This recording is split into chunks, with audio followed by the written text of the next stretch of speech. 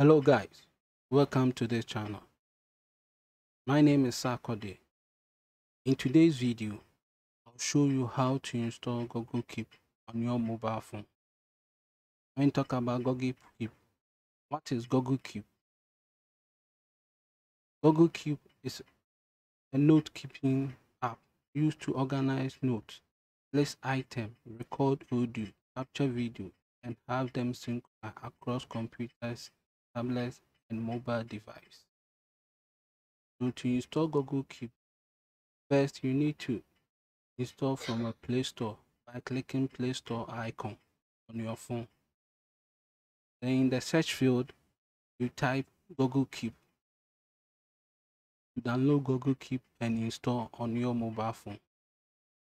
This will give you access to Keep Note. Now that clicking on Google Keep, you can install. I've already installed Google Keep on my phone.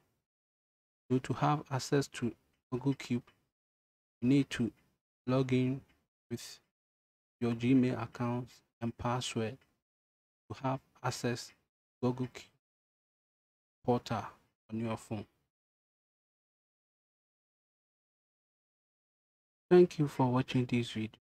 To find more information on Google Keep, click the description below by clicking the link to this post. Find more info and also subscribe to this channel by clicking the bell icon to receive an update anytime we upload new video. Thank you.